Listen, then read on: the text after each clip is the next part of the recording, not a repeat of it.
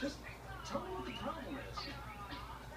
Hi, school, working for you, my family. It's just, it's a lot to handle.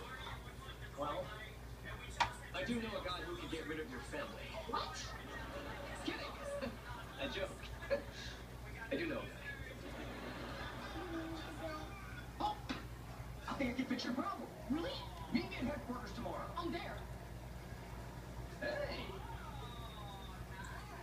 What's this? My mom. Nice. She, uh, she still married to your dad? Yes. Did you ever seem lonely or bored? Go home, Ray. Touch the Picture, Ray.